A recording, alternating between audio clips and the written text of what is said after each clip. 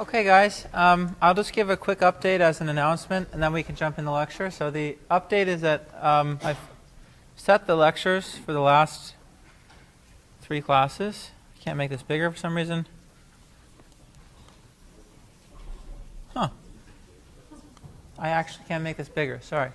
Um, so next week is Frank Wolfe, which is, I think, a very cool method, very relevant for uh, today's landscape, just like ADMM and coordinate descent. Then it's Thanksgiving. Then these three lectures, I haven't updated them on the website, but I've, I've more or less set them now. This one is going to be, this Monday we're going to talk about SGD again. And currently it's called fast stochastic methods. We'll do a mixture, probably, of uh, talking about variance reduction and momentum, that lecture for SGD. This one we're going to talk about mirror descent, which is a uh, it's a nice thing to learn. It's it's like a twist on gradient descent essentially that is can be very useful for some problems. Uh, it's listed as online optimization, but probably we'll just talk about mirror descent that day, which could lead into online optimization, but uh, it's not clear how much we'll cover. And for this one, we're going to have a, a, guest lecturer. And this last one, I'm going to do um, one of two things. So I assume a lot of people have gone at NIPS this week. Um, this last lecture, I'm going to either talk about non-convex problems that are benign, which means that we can solve them exactly. So there, there's just a bunch of interesting problems I'll, I'll list. Or I'll talk about integer programming. So um, I may do a poll for this last one, but the plan is either one of those two. And as I said, um, I set these last ones before that. Okay. Um, and the homework, by the way, that, that's due homework 5 is not on any of that. In fact, it's not even on ADMM, so it's something that we released early, and I wrote it in, with the intention that you could solve it like right away. It just essentially covers some coordinate descent, and mostly it's just generic problems that involve convexity and duality, and you know, all of this is supposed to be interesting and fast-paced, and you're not going to be having to know it for the homework. Or, I mean, yeah. Yeah, so I was, I was about to say that. Um, the little test will, will be comprehensive, so it'll cover all this stuff. It, it will not cover this. So whatever I talk about this last December 3rd is going to be like uh, truly optional in terms of it. Uh, just trying to expose you to interesting things that are non-convex. But yeah, the little test will, at the same level as the previous little test, test a very cursory understanding of the other stuff. So for that reason, you should still pay attention to ADMM and Frank Wolfe and mirror descent, etc. Plus, you should pay attention because they're interesting. Okay, um, so today is ADMM. Um, very kind of natural follow-up or transition from last time because last time we did talk about ADMM. We just talked about dual ascent as the primary driver. So I'll just remind you of what we learned last time. Um, we have a, a, problem of this form, minimize some closed convex functions subject to equality constraints. Um, f here is, um, it's closed and convex kind of in the most case, but I wrote down strictly convex here so that the conjugate is differentiable of f, which we learned last time. And we write the Lagrangian that we, you know, we know and love like this, f of x plus u transpose ax minus b, u being the dual variable associated with that constraint. And what we learned is that we could get sub subgradients, or in the case of a um, strictly convex primal f, actually gradients of uh, the dual criterion in the following way. We solve this minimization problem. So given a u, um, we minimize f of x plus u transpose ax minus b. We take that x and we plug that into ax minus b, and that gives us a gradient of the, of the, of the dual criterion. Okay, so this construction came from the relationship between subgradients of a function and subgradients of its conjugate. And so this is actually bona fide gradient ascent on the dual, and this is just the way we, this is just the step we use to compute the gradient. Um, the good about this method is that it, it, it can decompose when f does. So if f is decomposable across blocks of coordinates, then um, each of these gradient uh, the gradient computation decomposes as well across those blocks, which makes the dual um, computations decomposable, and, and, hence, if you have like a nice uh, parallel computing setup, very efficient. Um, that's the good. The bad is that we require strong uh, conditions on F in order to ensure primal convergence. So to ensure dual convergence, we knew that was the case. I walked through that with you last time. That's just due to the fact that um, you can relate curvature information about F to curvature information about its conjugate. So this was gradient ascent if we chose the step sizes properly and we assumed things about F that implied things about the dual criterion, then we're just applying gradient ascent. And so we know that we convergence of the dual criterion. If you want convergence in the primal, it turns out that that requires more stringent assumptions. And in practice, uh, they actually these assumptions aren't always satisfied by kind of common problems we want to solve, so this doesn't have the greatest convergence properties, even though it decomposes. So we talked about um, modifying the problem so as to strongly convexify the criterion and get better convergence. And one way to do that was to add a term to the criterion that looked like this. So rho over 2, the norm of ax minus b squared, with the idea that at at any feasible point, this term is 0. So it won't change the problem. That does make the criterion strongly convex. At least if A is full column rank, then this is a quadratic, it's strongly convex. Makes the whole criterion strongly convex. Uh, and it actually leads to a different algorithm. So if we go, if we look at the same uh, dual ascent algorithm applied to this primal problem, then this changes. So the computation of the gradient changes. It's actually a different algorithm and the, uh, the Lagrangian becomes augmented by this quadratic term, hence the name. So this had the advantage of actually improving convergence because we've added the strongly convex term to the primal criterion.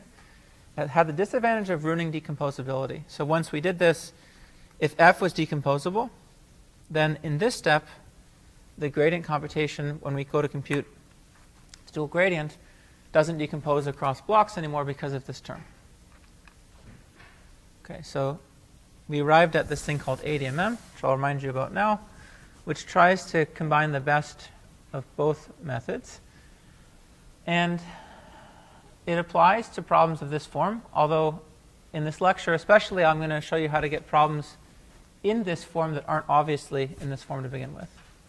Okay, so for now, think of this form as being, um, you have to just trust me that it's a fairly flexible form, and we can actually get a lot of problems to fit this form. So we have a criterion that looks like f of x plus g of z, and we have an equality constraint that looks like ax plus bz equals c. And we form the, the augmented Lagrangian for this problem, which is exactly this. It's just following the previous slide, but now our variable is xz.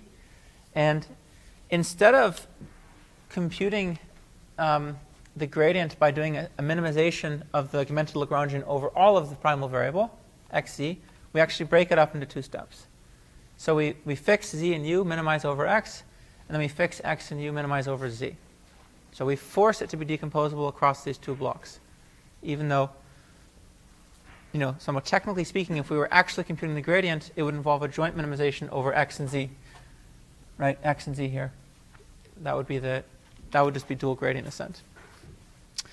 And one important detail, which was also true of coordinate descent, you'll notice that this is actually xk, not xk minus 1. So we have to use the most recent x in the z minimization. And then we just perform gradient ascent. Okay, and for reasons we went through last time, there's actually a very natural choice of step size here. That choice of step size ensures that the stationarity condition for the original primal problem without this augmentation, for, with this guy, is, is satisfied at any x and u iterate. So that was a very natural choice of step size. And then to get the KKT condition satisfied, it suffices to have um, primal feasibility. So you can imagine somehow we've already satisfied part of the requirements for optimality just by taking the step size, and the algorithm is going to drive uh, the iterates into, into, primal feasibility as it goes on. So this, this is going to approach zero. Once it does, then we have, by the KKT conditions, a solution. So went through this last time. I'll just very briefly repeat it. Um, I just said this. We get primal feasibility in the limit. Um, therefore, because of the fact that rho is designed to give a stationarity, or the step size is designed to give a stationarity, we take the step size equal to rho. We get um, the KKT condition satisfied in the limit, and so we get convergence of, of criterion values. And we get an even stronger result in the dual, so we get con convergence of the iterates themselves. So the, the dual iterates actually converge to dual solutions. And there's a lot of, so there's older papers that establish this, but then Steve Boyd has a monograph recently, which I think has a fairly approachable proof with, uh, you know, fairly general conditions on um, the functions for this to happen. And in terms of rate, I mentioned that this is still, there's still actually ongoing work that establishes uh, convergence rates for ADMM, but roughly speaking, you can think of it behaving like a first order method, so converging like a first order method. So you get the standard rates under the standard assumptions. Um, and there's some very interesting work. I guess I'll point out this work in particular, which uh, tries to establish the contraction factors for ADMM under the strongly convex case. So remember, um, first order methods, they are kind of badly affected by conditioning. So they converge at this linear rate under uh, strong convexity. If you give me strong convexity plus a gradient that's Lipschitz, they converge at this linear rate like log of 1 over epsilon. But the constant multiplying that, or the contraction factor, if I think about it as something to the k, depends on the conditioning quite poorly. Um, and that's it's very clear when you see what that contraction factor is. And we even saw this manifest itself in the linear systems lecture that gradient descent um, converged at like kappa times log 1 over epsilon, where kappa is the conditioning number, right? So gradient descent for quadratic problems is like this, where that's the condition number of the of the matrix in the quadratic form, and conjugate gradient conjugate gradient actually converged like this. And by the way, so does accelerated gradient method. It also has the same dependence on the condition number, kappa. And coordinate descent appears to have this uh, as well although I don't think that's established in kind of full generality yet. So I guess I'm saying that, you know, everything behaves like a first order method, but the details matter. In particular, some of how does it depend on, on conditioning. And this last paper, in case you're interested, it tries to work out the, the contraction factors, so essentially what goes here, um, for such a rate for ADMM. And uh, people observe that somehow, like under suitable parameterizations, ADMM might actually be converging better than first order methods. It's just not really clear at this point. In terms of the, like, let's say better than standard gradient descent or proximal gradient by the conditioning. And this paper actually um, solves for the contraction factors by solving an SDP. So it, it, it, can it can compute for you in practice what the contraction factor will be in your problem by solving another optimization problem. Um, and it's I think it's a very kind of creative analysis because it's very non-obvious what to do for ADMM. So in case you're curious, I just wanted to point out that paper as being interesting. Yeah? We're even behaves like first order method. Are we assuming that the cost of computing gradients is the same as the cost of solving this linear optimization problem? Um, it's a good question. Uh, I mean, I'm not really talking about like the iteration cost here, but I was, I was associating iteration complexity. So implicitly, yes. Um, although, so okay, we're going to see for certain problems where you could apply proximal gradient, ADMM will be no more expensive iteration-wise.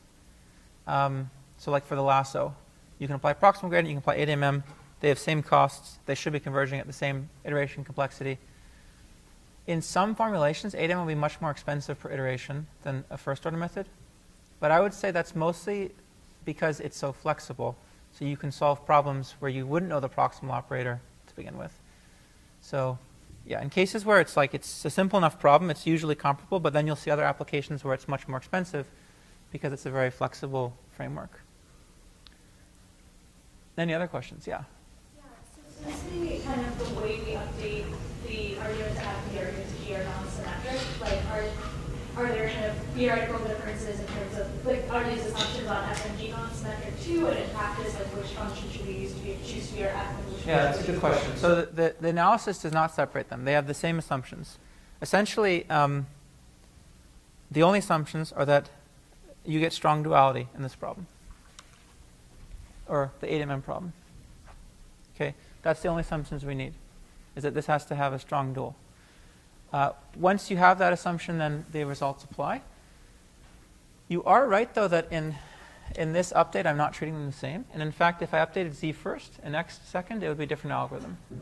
So in practice, it would not give me the same iterates, but they're both fine. I mean, what I call x and what I call z is invariant somehow. I mean, I'm allowed to call, I'm allowed to switch x and z notationally. There's no, nothing stopping you from doing that, and then it leads to a different algorithm. So you are correct about that.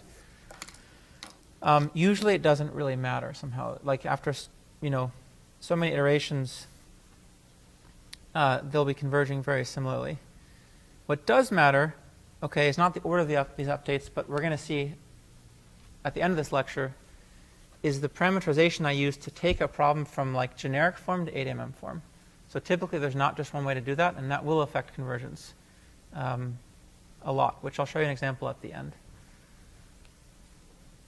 Any other questions? Okay, um, and the last thing was scaled form, which this is the way I remember it from now, at least the way I, I tend to think about ADMM is in scaled form, where we, we're just changing the dual variable from u to u over rho. So I'm just going to scale the dual variable and write everything in terms of this new variable w. And it, it makes, it just makes the updates simpler to write down. That's the only reason why. Okay, the, the augmented Lagrangian piece, um, the, I mean, the, the Lagrangian plus augmented Lagrangian pieces just become, if I think about the dependence on x and z, well, that's a typo. That should have said um, f of x plus g of z plus rho over 2 ax plus bz minus c plus w norm squared. So that's supposed to be a z on the slide. It was just an x. That's just a typo. So that's the augmented Lagrangian in scaled form. And then um, that's my L of rho. And then I just alternating, alternatingly minimize this over x, over z, and then do a, do a gradient ascent update for w, which gives me this algorithm. Okay, um, so here's the rest. What we'll do the rest of today. We'll, we'll talk about a bunch of examples and some some practicalities, like these important things that I guess you should know before you go and deploy ADMM in practice.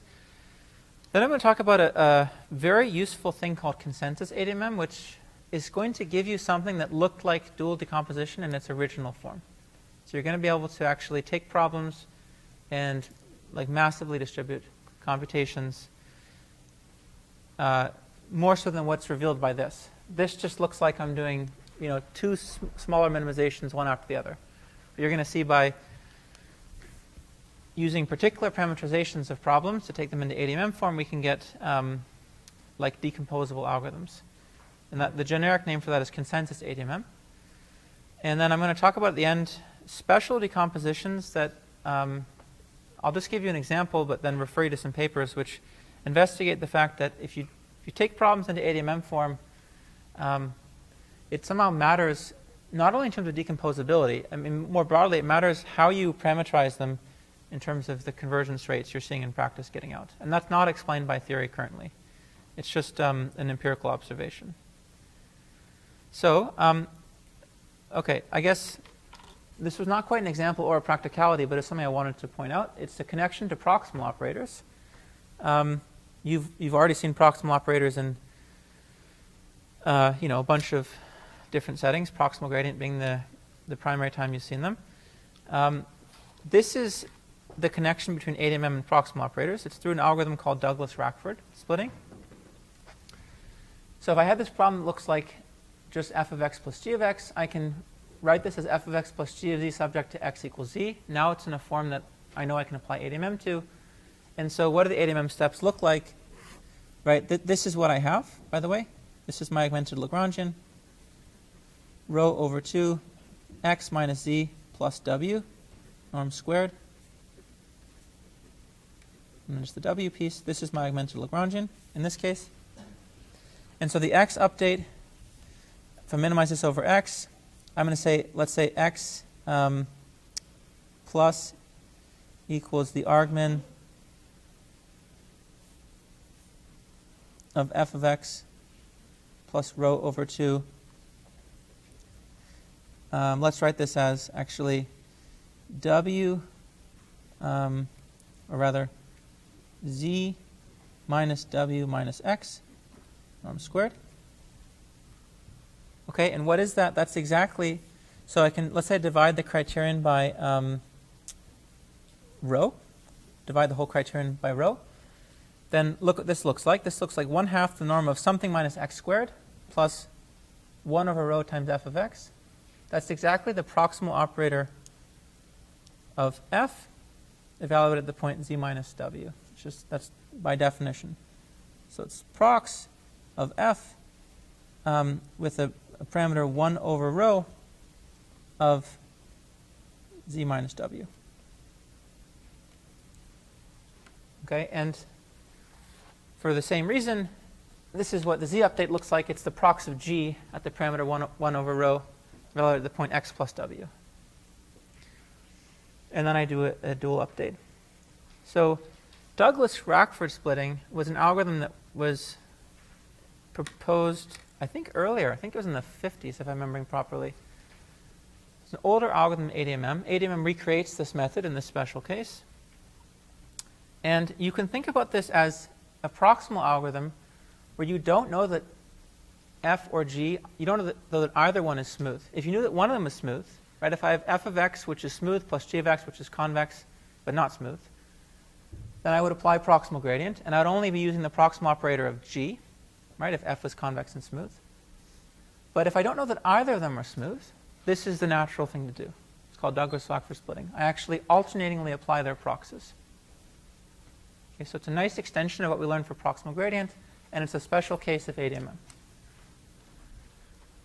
And in fact, maybe an advanced connection that I'll just mention is that this may not be obvious from first sight. You can actually derive ADMM in full generality from this algorithm. So this is not a special case of ADMM, it's actually equivalent to ADMM.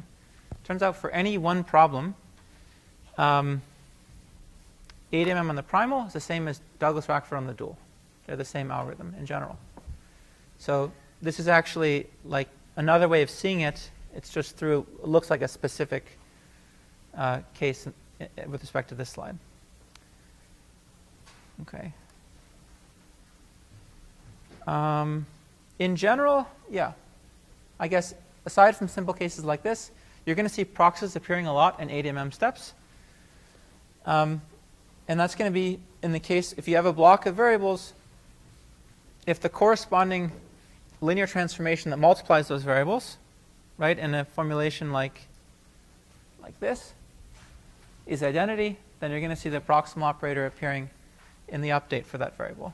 Because you'll have a quadratic term that looks like just that one variable, let's say x minus a bunch of stuff, and you'll have f of x appearing.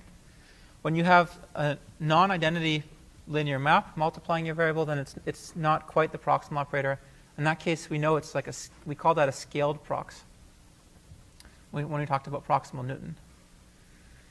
Okay, but there's that relationship that's just important to be aware of.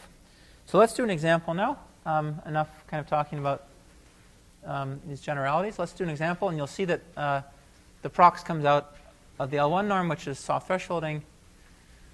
So let's recall our friend the lasso, which you guys maybe are sick of by now. Um, we have several algorithms for this guy, and ADMM uh, gives us a different algorithm than all of them. And uh, what we do is we take, uh, we replace the beta in the L1 norm by alpha, and we add a constraint beta minus alpha equals zero. That's, that's a way to get the problem in, um, in lasso form, or sorry, in ADMM form. And this is what the ADMM steps are. So let me write out where I got these from for you. And then for the next several examples, I probably won't write out the steps, but I'll just leave it as something you can check. So for the lasso, the augmented Lagrangian is this, y minus x beta squared plus lambda L norm of alpha plus rho over 2. Um, this should be beta minus alpha plus w norm squared.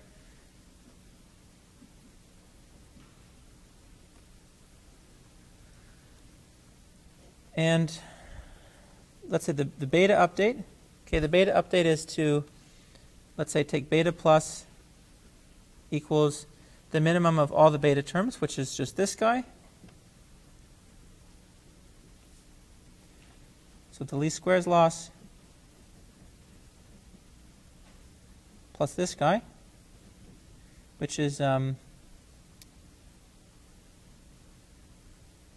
alpha minus w minus beta squared. Okay, and this is just a quadratic. So uh, we can differentiate it and set it equal to 0, and then we get, we get its minimizer. And see if I can see if I can guess that. So the only pieces that would be multiply that would be involving um, quadratic pieces are going to be beta transpose x transpose x beta, and this one's just going to be beta transpose rho times identity beta. So that's going to be my say my quadratic matrix Q. And then the things multiplying the linear term beta. Okay, it should be y plus rho alpha minus w. Uh, it should be x transpose y. Okay, maybe I got that wrong, or maybe, okay, looks like I got it right. So that's the beta update. Okay, the alpha update is going to involve the proximal operator of the L1 norm because you can see that um, the in my reparameterization, I guess here, I had an identity multiplying alpha. So from what I said in the last slide, we're going to get the proximal operator popping up. So it just looks like in this case, let's say it as 1 half um, beta plus w minus alpha squared plus lambda over rho L1 norm. So all I did is I took the pieces that involved alpha, which are these two pieces, and I divided by rho to get um, something multiplying the, the L1 norm.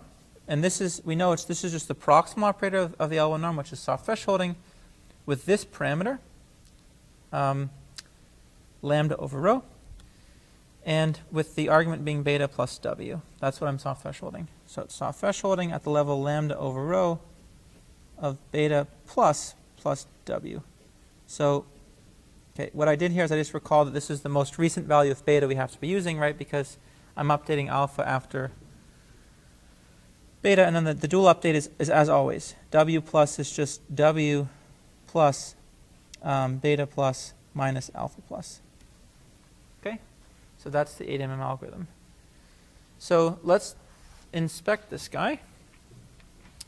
Um, even in the high dimensional case, I guess the first point to make is that this is always well defined because this matrix is always invertible because of this piece. As long as rho is positive, this matrix um, becomes positive definite, even if x transpose x is singular.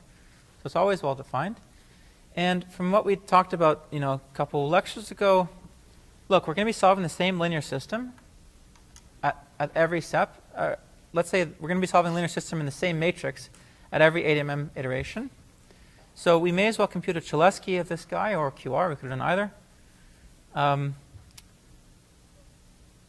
at, at the beginning, before we start the ADMM algorithm, and then that'll cost p cubed operations. And every time we apply it to solve a linear system, it'll just cost p squared. The alternative would be to solve this linear system kind of anew every, every iteration, and then that would be p, p cubed each time. And all those numbers would be improved if x was sparse. If x was, had some sparsity, um, and if I even had a structured sparsity pattern, it would be much better. Those would all improve. So that's a good. That's a common thing you see in, uh, let's say, problems that involve like regression or logistic regression or anything with features. Is that you get an ADMM algorithm which has um, linear systems in the same matrix, so you may as well factorize ahead of time. Okay, alpha involves soft thresholding, just because of the proximal connection, as we said. And this is an interesting phenomenon. um, I think it's actually kind of intuitive. What does this look like to you? Maybe for those of my statistician students in the class, what, what does that look like to you? Or the ML students? Or anybody? What does that look like? Yeah, exactly. That is ridge regression with tuning parameter rho. So let's get rid of the dual variables. That's just ridge regression. This is like soft thresholding the ridge regression coefficients. So it's kind of a neat connection, right? If you didn't know about the lasso and you knew about ridge regression and somebody said, give me sparsity, you probably would take ridge regression and you'd, you'd just do soft thresholding. And that's essentially how we're solving for the lasso. This is a, a rigorous way of doing it, but we're actually not quite doing ridge regression on y. Um, we're offsetting x transpose y, so the, the score, um, if you think about it like as a likelihood, it's the score, it's the gradient, um, by a, like rho times alpha minus w, and then we're actually subtracting alpha minus w from beta when we're doing the um, soft thresholding. So it's very close to soft thresholding, yeah, of ridge. Does it look like you're just doing like prox with adaptive step size? Because you can also run like proximal gradient, right? And then you do like very similar optimization. Let's say you're just plotting the final, final update. Um, this is a good question. So, do I have? I think I have a slide on that. Yeah, I have a slide on varying rho. Varying rho is, it's not provably convergent. So it's something people do in practice, but it, we don't have theory that says that that will work. Uh, like as a strategy in general, this this stuff assumes rho is fixed and arbitrary. For any value of rho, you'll get these guarantees. For particular values of rhos, you'll get particular rates, but rho is always fixed. Um, varying rho is, I'll mention that in a few slides, it can be practically advantageous because it seems it's seemingly so arbitrary, but there's not a guarantee for that converging. Other questions? Okay, um, so here's a, a, comparison that I I did of uh, a bunch of algorithms that you've already seen for the lasso, plus some ADMM algorithms. And it's the same setup I've been showing you in the last lecture on coordinate descent, or whenever we had that. It's a 100 random lasso problems. So the number of samples is 200, the number of features is 50. So they're kind of small. I'm just doing this kind of just give you an idea, idea of how they converge. And I, I'm plotting the um, progress made on, on decreasing the criterion. This is actually the criterion gap. So it's the difference between f at, the, at iteration k and f at, at um, optimum, f star, for various algorithms, with, which each algorithm plotted in a different color. And with the dark lines being the average convergence over those 100 random problem instances. So here's coordinate descent. Okay, we already saw this performing a lot better than gradient descent.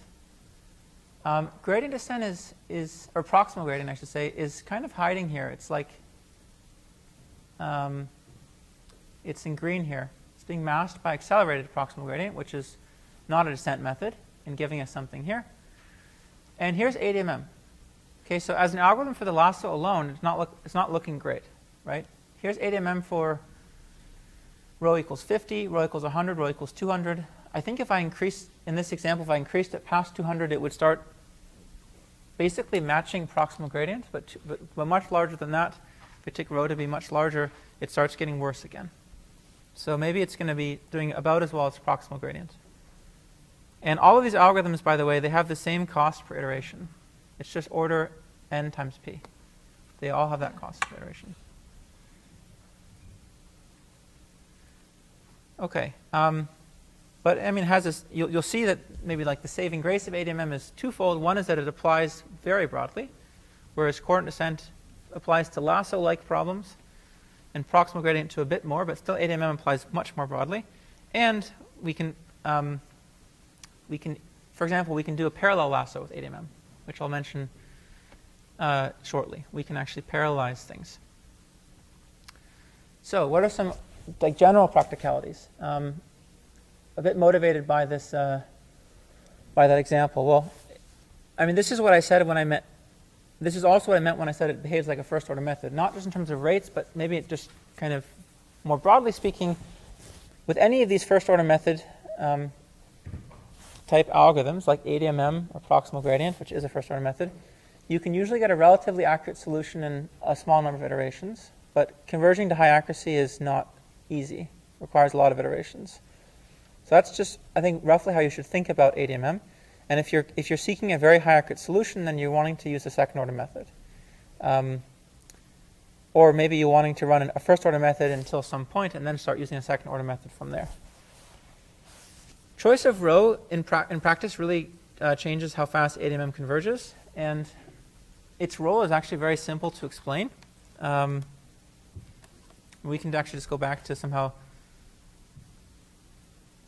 let's say this picture. If rho is very large, right, then we're actually placing a lot of emphasis on primal feasibility.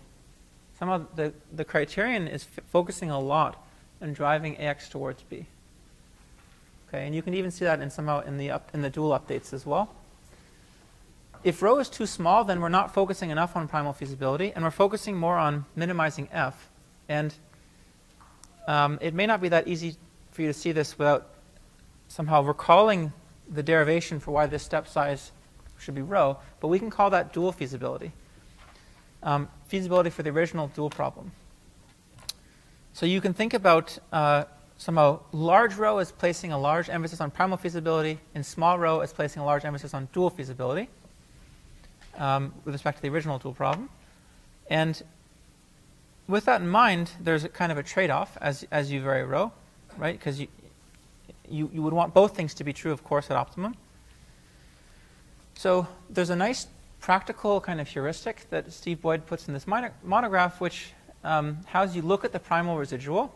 So like observe what ax plus b, bz minus c looks like for your current iterate. Take its norm, square norm.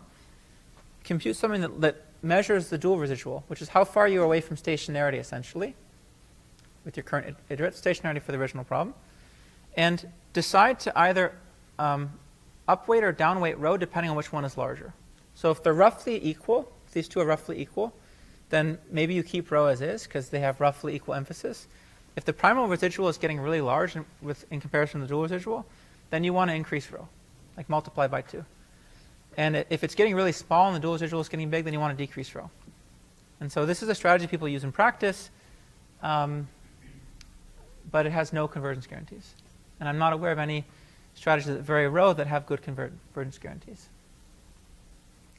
And this practicality I've said many times, uh, which is like you can do it, you can bring ADMM to, to, you can bring a problem to ADMM form in many different ways, and they give different algorithms, and you know, I'll show you a nice example of that at the end.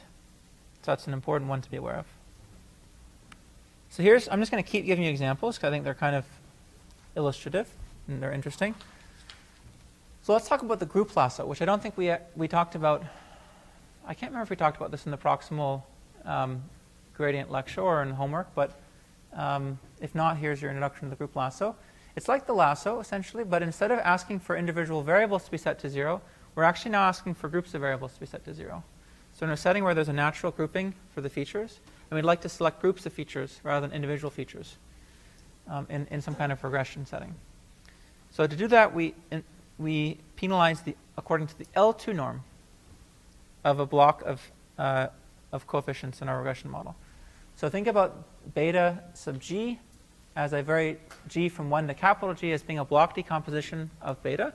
And this is just the L2 norm of a particular one of those blocks. Um, this induces sparsity at the group level, just like lasso induces sparsity at the coordinate level. And if the groups were actually all of size 1, this would be the lasso. So that it would be the same as what you've seen. And you can replace this 2 norm by an infinity norm. Either one would, they would also, that would lead to similar behavior in terms of grouping. But the 2 norm seems to be more common for not, not, for not really a good reason, I think. It's just a more common formulation that people look at. So we can put that in ADMM form, okay, by doing a similar transformation. I just replace the beta g in the penalty by an alpha g. And I introduce the constraint that beta minus alpha is 0. And I go through the updates I, I showed you. I go through the steps I showed you previously. The beta update is literally the same.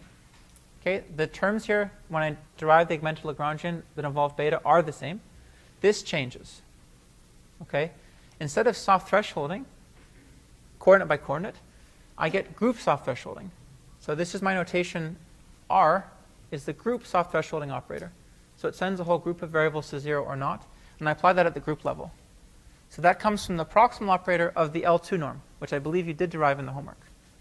Right, we looked at the proximal operator of the L2 norm, and you saw it was a kind of uh, like a group thresholding operator. And the dual update is the same. Okay. So I guess similar notes, somehow we do the Cholesky here. That would be advantageous in practice. This is what the group soft thresholding operator looks like. It sends x entirely to 0 or keeps x entirely away from 0. And x here would, you know, would stand for like alpha g here. We, we do this to every block of, of variables. And um, this, this would kind of easily generalize if you had any other norm here than the 2 norm. You just use the proximal operator of that norm here. So this can be generalized quite a bit. Very interestingly, this is a case in which ADMM is just very flexible.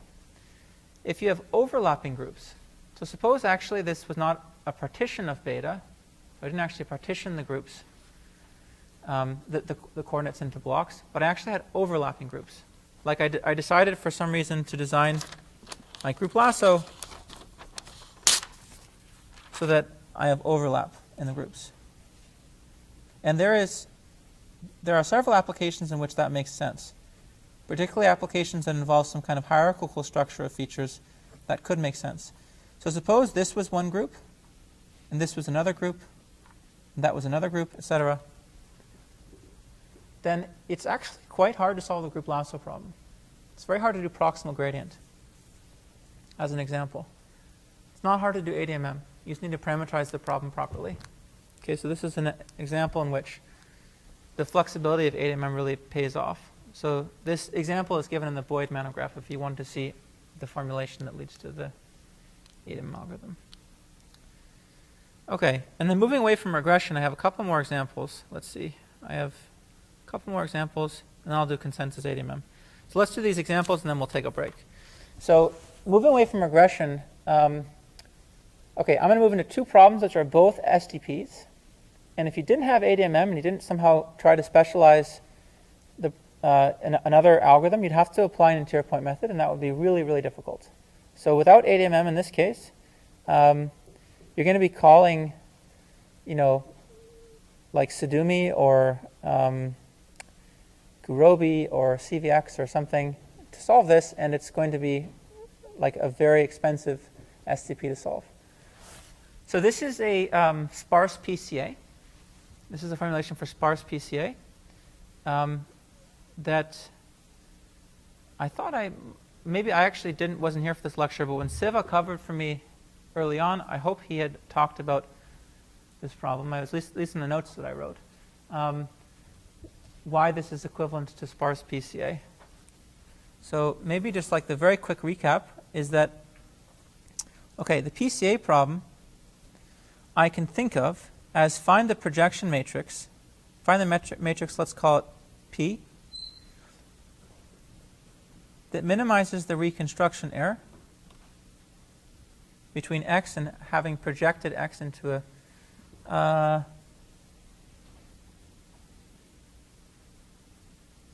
sorry, should be on the right, having projected the samples, so the rows of x, into some lower dimensional subspace, subject to P being a projection matrix of rank K.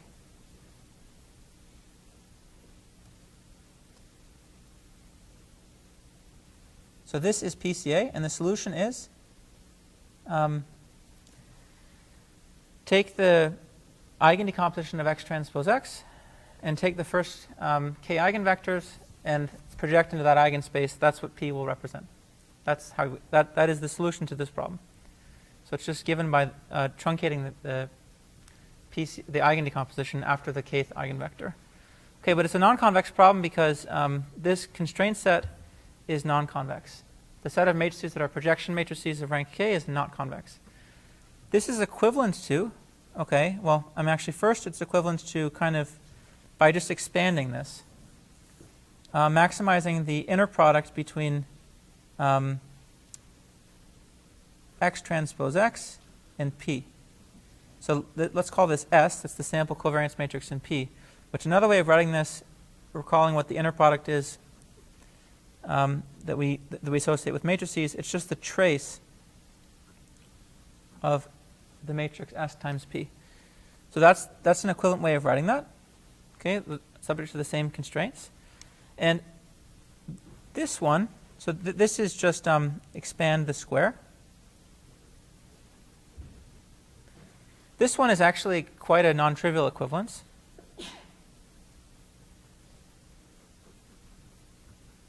Ah, sorry. I meant to write the trace form.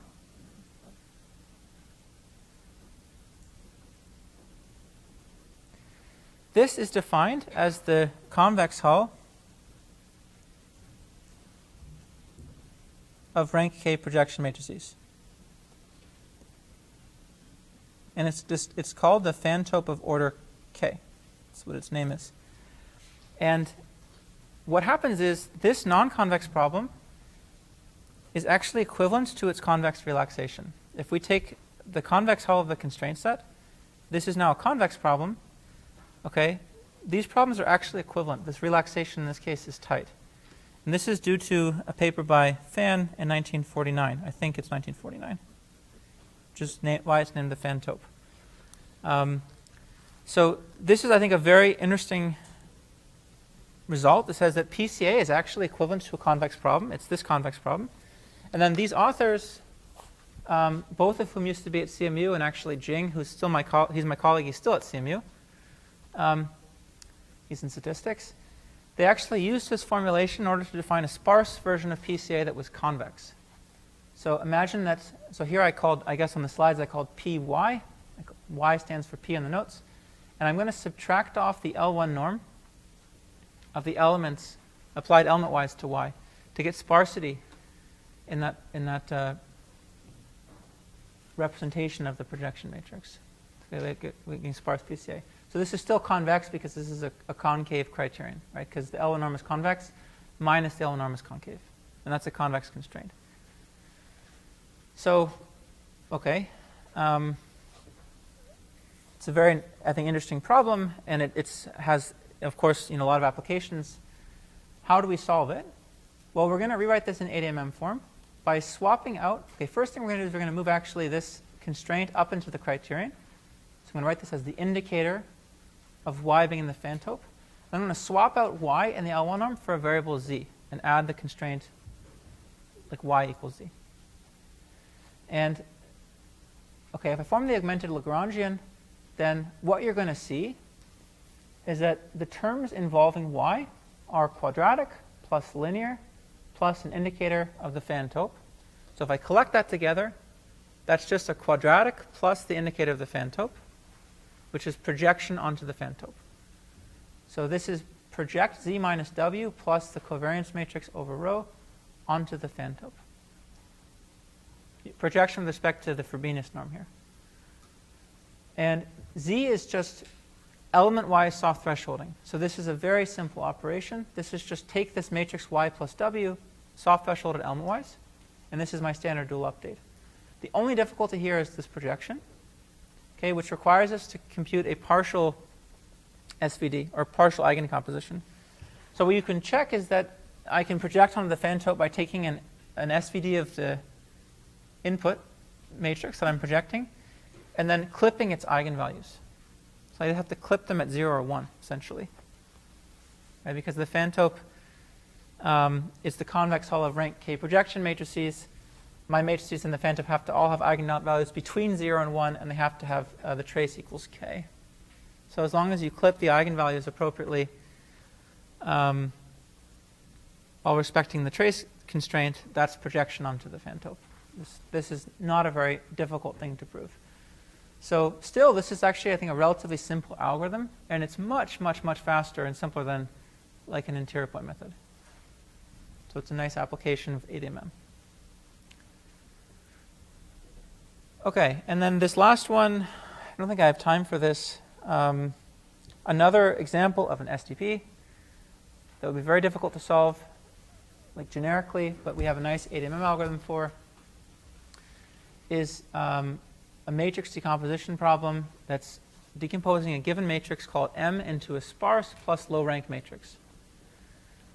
Okay, so there are applications in which you might want to do that. Um, this next slide gives you an application for like tracking in, uh, in video surveillance. But how I can formulate that as a convex problem is that I have some matrix M. I'm going to write it as L plus S. L and S are my, are my um, optimization variables, and I want the trace norm of L to be small, which remember is going to give me low rankedness. This is the convex relaxation of the rank, which is a non-convex uh, operator.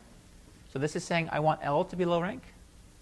And this is saying I want S to be sparse. So I'm taking the L1 norm element wise of S.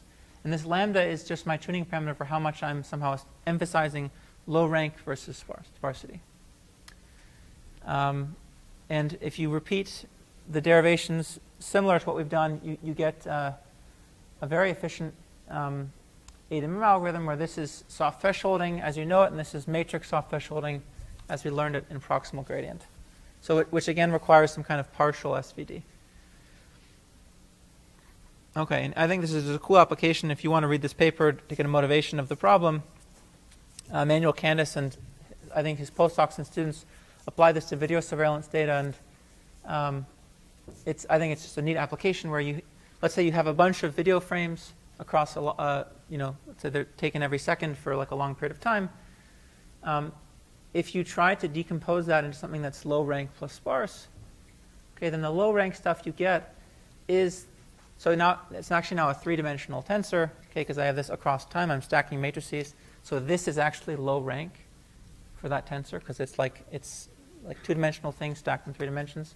So I get the background being low rank, something that's kind of mostly constant across time, and the sparse stuff are the um, people that are passing through. Okay, th this is like somehow this is the transient stuff in the image in, in the video, and this is the stuff that's more or less stationary. Okay, um, so let's take a break, and when we get back, I'll talk about um, consensus ADMM.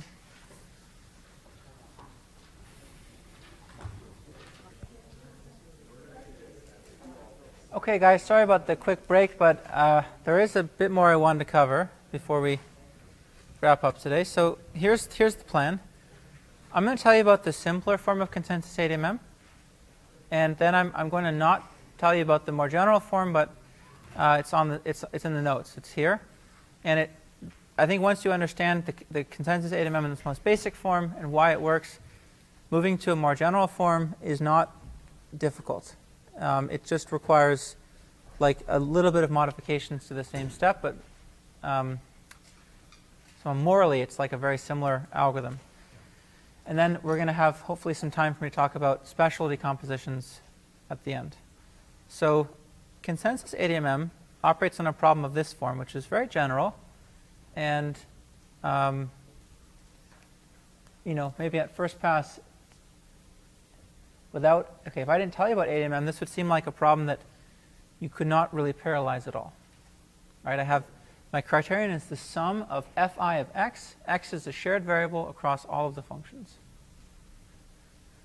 So this is very generic, right, in, in, as a problem form. And it turns out that by applying ADMM in a particular way, we can actually get a, a nice decomposable algorithm. That's called consensus ADMM is the name of it. So we begin by reparameterizing the problem in this way. We introduce variables xi for each fi, so x1 through xb. We write this as fi of xi, and we write the constraint as xi equals x for all i. That's actually, this is a very important choice here. This is, this is what defines consensus ADMM. This is not the only way we could have done it. And a very subtle difference like saying xi equals xi plus 1 seems to be equivalent, would lead to a different algorithm. And actually, in, that, in this case, for, we're looking for a worse algorithm. So hopefully you'll see that after I go through the steps. So, okay, if we do this, the augmented Lagrangian looks like this. It's the sum of fi of xi plus Okay. Um, how I should think about this thing, xi equals x. So how I should think about this constraint is like this. I should think about it as x1, x2, xb minus x, x, x equals 0. Okay, and I, and I, can, think about this now as like some linear operator of my variable, which is x1 through xb x, that big thing, minus some other linear operator of my variable equals 0. So it's really a linear constraint on all my variables. And now the um, augmented Lagrangian just takes the norm, right, of this minus this plus the dual variable squared. But that norm I can easily split up um, component-wise, right? So the typical augmented Lagrangian looks like this, rho over 2, just to be perfectly clear, x1, x2, all the way through xb minus x, x, all the way through x, plus w1, w2, all the way through wb, writing a similar block decomposition for w, norm squared, right? Which I, I know this is some of a very simple point, but I want to emphasize it. That decomposes like this.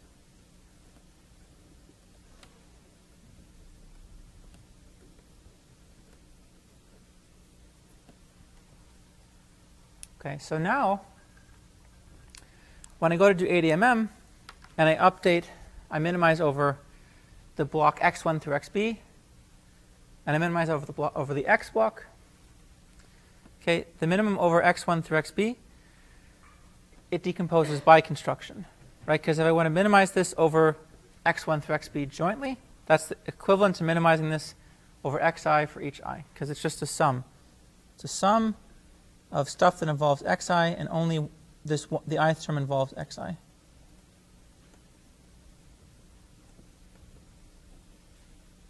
That's the whole point of this, of kind of casting the constraint like this. So the x update now, or the, the update for x1 through xb decomposes in parallel into b uh, updates, each one doing minimization over a smaller subset. And it's just exactly this, what I wrote down. It involves the prox operator of f. The update for x is actually quite simple. Um, there is no other term that involves uh, x than this in the augmented Lagrangian, or, or, rather than this, depending on how you look at it. And if you minimize that, you just get an averaging operator. So this is sometimes called the consensus step in consensus ADMM. I'm bringing the variables into consensus by taking as my common, kind of consensus variable, my common variable x, the average of all of the xi's. And then I'm doing a, a, a dual update as usual.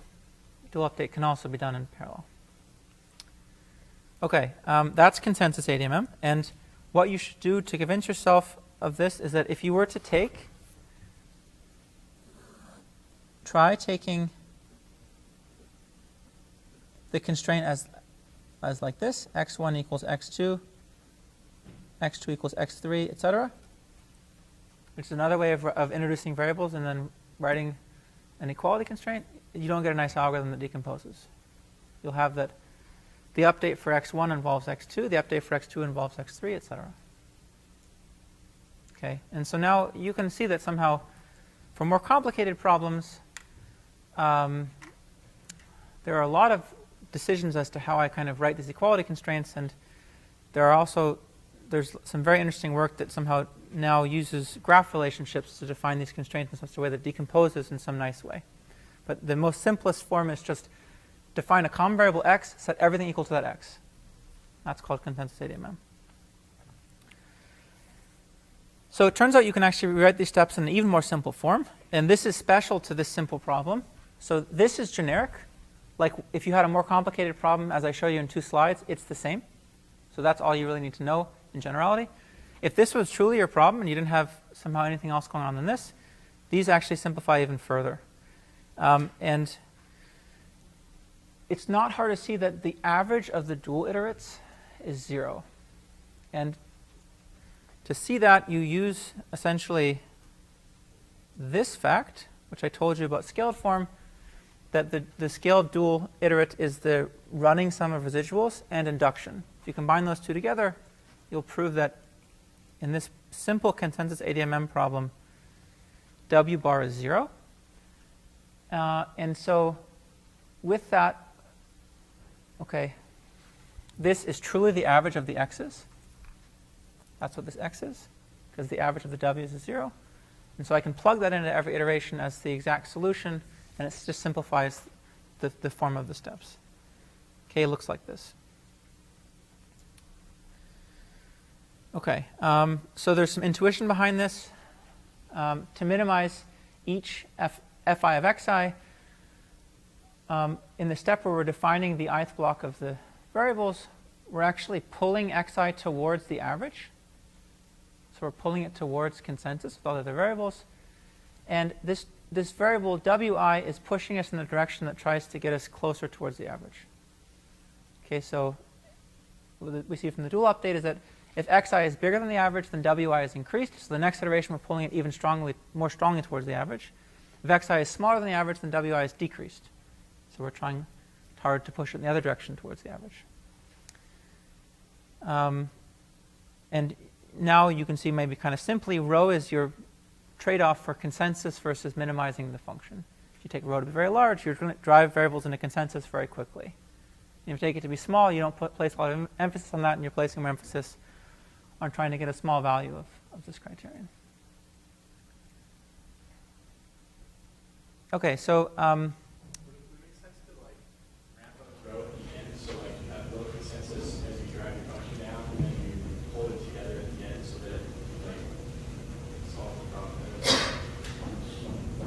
Um, I can't really comment on whether I think that would be working well or poorly. I, I just honestly feel like that'd be hard to answer in general. I think it'd be an interesting thing to try, but um, some of my experience, like choosing rho is very finicky in almost any problem. So um, the strategies for varying rho actually tends to work well.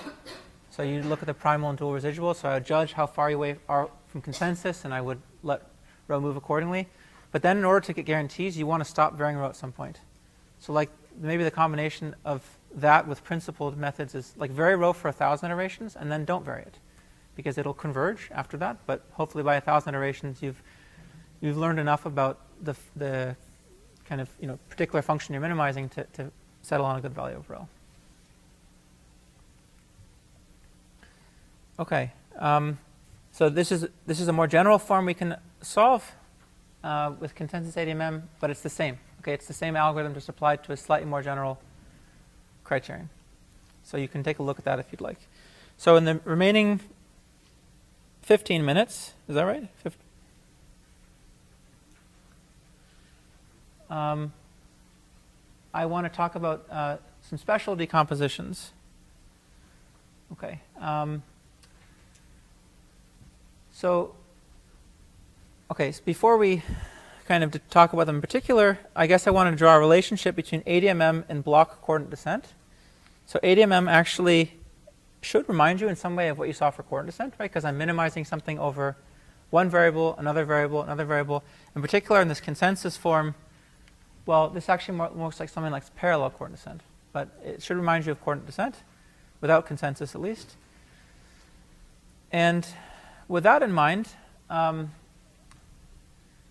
coordinate descent you should think about somehow pictorially as making the most progress when the blocks of coordinates are not very correlated with respect to the criterion function. Okay, if you have a very correlated criterion function, okay, doing something like coordinate descent is not going to be making very big progress because moves along the coordinate axes are not really the beneficial moves here.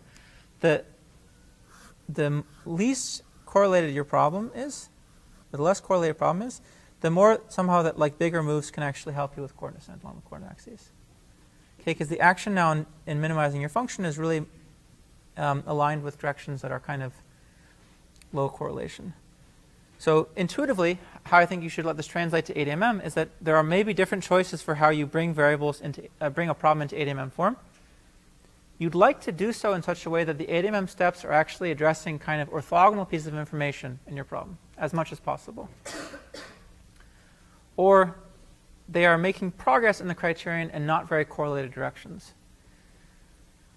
If you can do that, then often that leads to faster convergence for reasons that aren't theoretically somehow um, explained as well as they should be, but hopefully for reasons that make sense if you at least think about coordinate descent.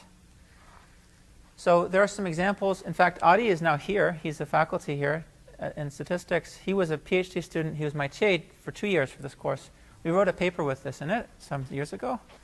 Um, and there's another paper by some, these are CMU folks.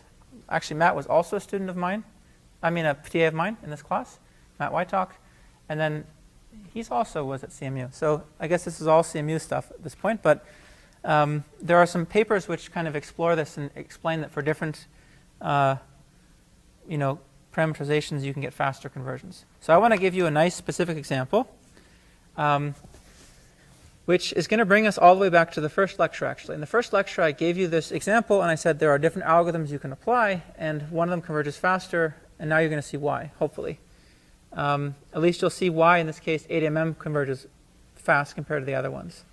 So this is a problem in image denoising. So I'm given an image, and let's say y is a d by d image, and I want to fit an uh, theta to y that has good error. So this is just the squared loss between yij and theta ij summed up across all i and j. And also it has low 2D total variation. So if I think about the, this as portraying the um, pixels on my image, so this is one uh, index ij. I want my theta value here to be um, close to my theta value here, and also close to my theta value here, as measured by the sum of absolute differences. So the sum of this difference plus the sum of that difference to be small. That's um, a 2D measure of total variation. Okay, I can also write that in a more compact form if I string out y into a vector, and I call that little y. I do the same for theta, and I and I recognize that this is just a particular linear operator times theta. This is the, we call this the edge incidence operator of the, of the 2D grid. But it's just the one that gives us these differences. That's all it is. So this is a more compact way of writing it. Okay, so if I gave you this problem and you maybe looked to apply ADMM, then what you would do would, would be this. Okay, and this is, this is uh, maybe the standard way to do it following what you've seen so far with the lasso and with everything else, which is introduce um, a variable z here in place of uh, what I had as d times theta, because I know what, I know what the prox operator of um, the L1 norm is, so I want to arrive at that in my ADMM iteration, so replace that by z, write my constraint as theta equals d times z, and now I get this algorithm. Okay, This thing is uh, the theta update is involves solving a, a, linear system in the matrix D transpose D rho plus I. But this is sparse in structure, so in fact this can be done very quickly. It's almost, if you look at the details for this, it's almost actually like a, um, it's almost like a 2D FFT. So this can be done very quickly. This thing is just soft thresholding, so it's also extremely fast. Okay, and this is the dual update. So every iteration here is roughly order n. Okay, it's, um, it's done very quickly. So it seems like a great algorithm, right? Because a very efficient way to do the 2D fuse lasso or 2D, 2D total algorithm. Okay. It turns out it doesn't converge that fast. Takes, it actually takes a while to get kind of high resolution uh, or high accuracy solutions. Here's a second way to do ADMM that converges much, much faster. And um, hopefully you can at least morally see somehow why this is obeying this idea of trying to solve orth orthogonal bits of the problem. Let's duplicate, so here we've duplicated variables by just calling uh, d theta z. I'm going to duplicate variables in a different way now. I'm going to go back to my um, 2D formulation. So go back to the first one with the matrices. And I'm going to, at every uh, pixel, I'm going to either, uh, I'm going to define a variable h and a variable v. Okay, so theta is going to be duplicated. I'm going to have a copy h of all my variables and a copy v of all my variables. And I've just gotten rid of theta from the notation for simplicity. So let's say h is equal to theta and v is a copy of that. And now I'm going to, I'm actually going to take the first term in the penalty, which is a horizontal difference. I'm going to plug in h there. I'm going to take the second term in the penalty, which is a vertical difference. I'm going to plug in v there. So v only ever appears in the vertical differences. h only ever appears in the horizontal differences. Okay, and so now they're somehow accessing different bits of the problem. What happens is that when I go to minimize over h and v, the problem actually splits up very nicely because the h minimizations only ever involve, do I have a picture? Differences in this direction. So it decomposes into actually a bunch of 1D total variation problems. There's no connection between the variables in this row and this one. There are only connections like this. And that I can solve rapidly. So actually, I remember this is a d by d grid. I have d 1D total variation problems of length d. Same with the vertical thing. I have d total variation problems in 1D of length d. Okay, and that I can do also very quickly. In fact, there's an exact way to do that. It's a convex problem, but in particular, it's a convex problem with a very nice structure. So you can use dynamic programming in this case. Um, and you can do this in order d time, very, very fast. And so you just have essentially a, a bunch of those, right? And a bunch of those for the horizontal and vertical directions, and then the dual update. And that's the whole algorithm. So here's the difference in. All right, so I'm going to show you some empirical results. So here I have not a huge image, but not a small one. Um, n is 60, so n is 60,000 here. That's the number of pixels in the image. And it's a 300 by 200 image. That's the dimension. So I guess it's not quite square as I had in the, nota- on the slides, but it's just a notational change. And I used just an arbitrary color scale so you can visualize this. Um, let's suppose this was the data I was given, okay, and I wanted to denoise this. I wanted to get a piecewise kind of constant representation of this image. That is the 2D diffuse lasso solution. So I'm showing you what the solution looks like. And here's the difference in the ADMM algorithms. Okay, um, they converge. So remember, they have the same cost per iteration, but they converge quite differently in this example. Even more dramatic thing is actually to look at what they do to the images themselves. So the criterion doesn't tell the full, full story. Here is um, 10 iterations in. 10 iterations in, I'm not sure if you can actually see because of the projector. You're, you're missing a bit of the color uh, scale here, but at least you can hopefully see and take a look at the notes if you want to see a, a better picture. 10 iterations in, this is very far from piecewise constant. Okay, there's lots of, um, there's like big dark blobs and there's lots of kind of smoothness around the boundaries. This is already quite close to piecewise constant. And now I'm showing you 30 iterations. Somehow this is exactly piecewise constant. This looks exactly like the solution, and this is still quite far from piecewise constant. Okay, and 50 iterations in, this is still smooth around the boundaries, etc. Okay, so they behave quite differently in practice. And this is not an isolated example. This happens in image denoising um, kind of generically, I think, with these splitting algorithms. And it happens in a lot of other problems as well, with the moral being that if you have if you can afford some creativity, try to set up the iterations so that they don't, so that they, they actually solve kind of decorrelated parts of the problem. Okay, um, that was actually all I wanted to say. So I guess we can end a few minutes early. I will see you guys on Monday.